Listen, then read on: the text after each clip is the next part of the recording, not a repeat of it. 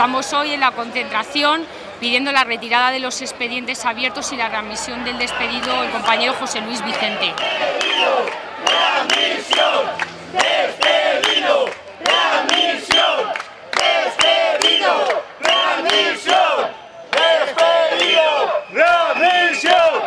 Bueno, a José Luis le han despedido, eh, al final es un tema de represión por todo el tema este de la huelga y lo que quieren es cogerle de rehén para, para intentar chantajearnos con las condiciones del convenio que estamos negociando. Sancionados tenemos varios delegados, todas las organizaciones y algún también sancionado con 80 días de empleo y sueldo, compañero Juan Carlos Álvarez.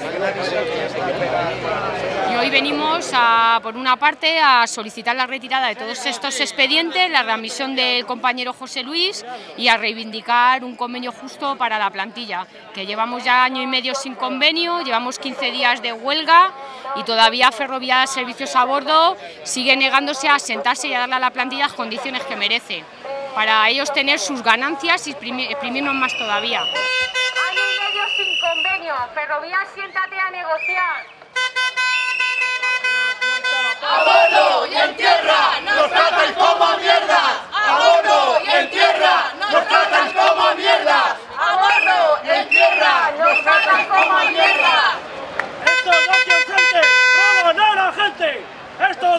Adelante.